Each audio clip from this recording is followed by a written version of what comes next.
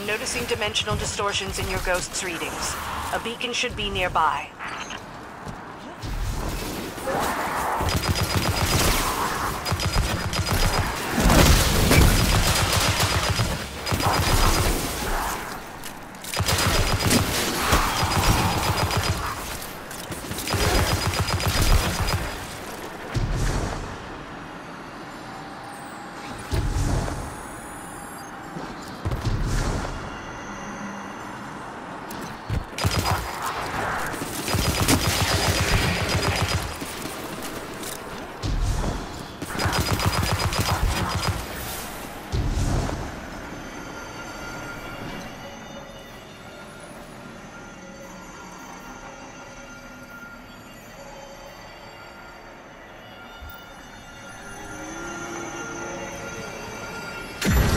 Beacon aligned.